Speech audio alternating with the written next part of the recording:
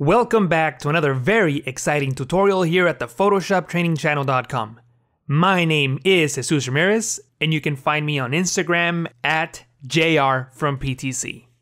Another big change in Adobe Photoshop CC 2017 can be found in the new document window.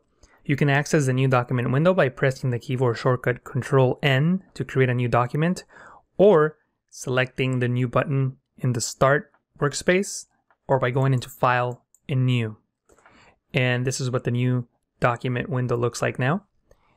And the items that you'll see by default are the most recent. In this case, default Photoshop size, a template that I've used, and we're going to talk more about templates in a moment, and different custom Photoshop sizes that I've created. And if you have something on your clipboard, such as a screenshot, or maybe you copied an image, you're also going to have a clipboard size. To the right, you have the preset details. Notice that if I click on default Photoshop size, the properties on the right hand side are adjusted. We have width, height, and the different units of measurement. You can change orientation by clicking on these icons here. So notice right now we have width of 7, height of 5, but if I change the orientation to portrait, you'll see those two swap. I can check this box to create an artboard with my new document. I have the resolution, color modes, bit depth, background contents. Notice that right now you only see white, black, and background color, but if I click and drag on this scroll bar, there's more options. So you have transparent and custom.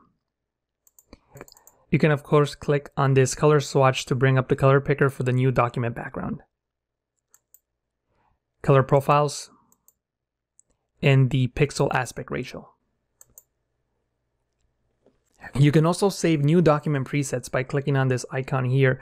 So for example, when I create a new article on my website, photoshoptrainingchannel.com, I use a feature image that is 970 by 413 and I use a resolution of 72 pixels and all the other settings are fine for this example. And if I click on this icon here to save the preset, I can name it feature image PTC for my website, click on save preset, and now I have access to this preset every time I create a new document. You can find it under the save tab. So you will start out on the recent tab, click on save, and there it is. If you don't like it, you can delete it and now it's gone.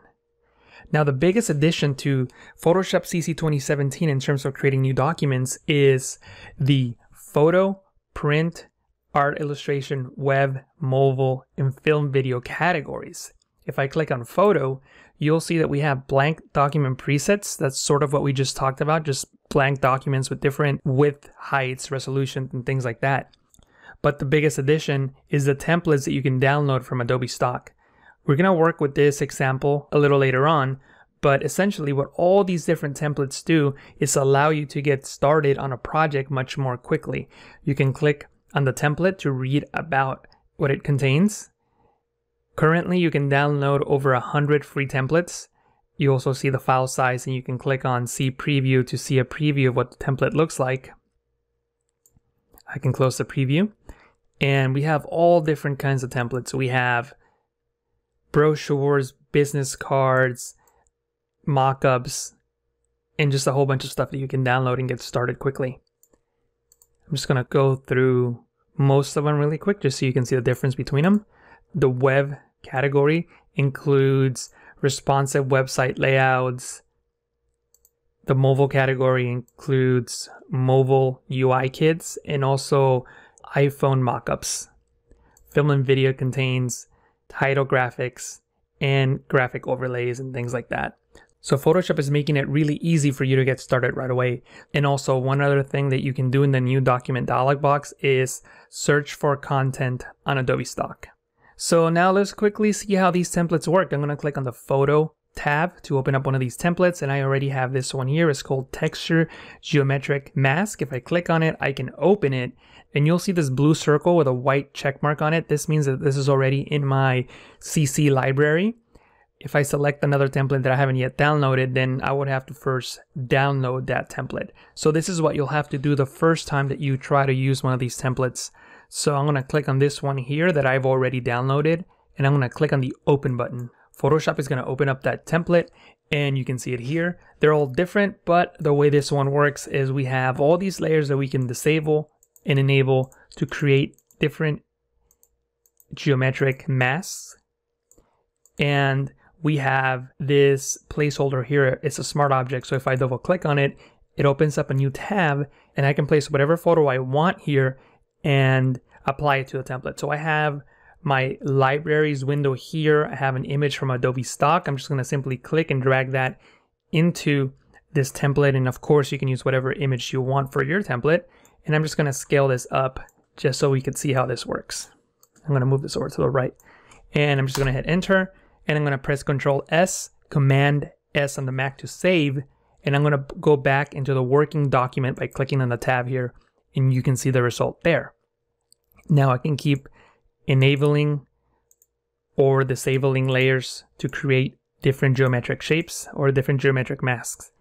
I can also go into window, arrange, two up, vertical, and I can see both tabs at the same time so that if I select the move tool, I can click and drag this around and then hit Control S, Command S on the Mac to save, and it automatically updates on the window on the left. So then that can help me composite this a little bit easier and faster. So every time you see it updating here on the left, it's because I'm pressing Control S, Command S to save.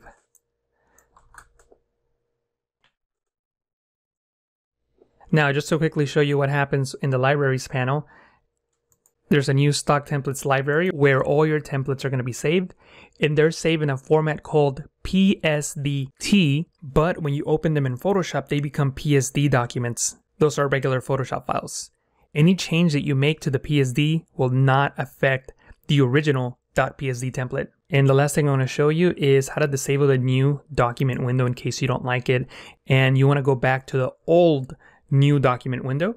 So you can press Control K, Command K on the Mac to bring up the preferences window and under general, select use legacy new document interface. If I check that, and press OK, next time I bring up the new document window, you will get the legacy new document interface. I like the new one, so I'm gonna keep using the new one. So I'm gonna uncheck this box and press OK. And that's it for this tutorial. I hope that you enjoyed it and that you learned something new. Make sure that you leave all your comments or questions down below. Don't forget to subscribe and click on that like button. If you have a friend who you think will enjoy this tutorial, please share this link with them now. Thank you for watching, and I'll talk to you again soon.